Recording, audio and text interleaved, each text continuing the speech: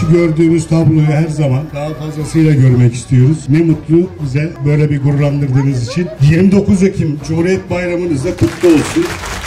Yolumuz arkadaşlar içimde bir telaş var Bu kutlu gün bizim Zafer düğün bizim Görüyoruz arkadaşlar Darbeler savaşlar Sırtımız yere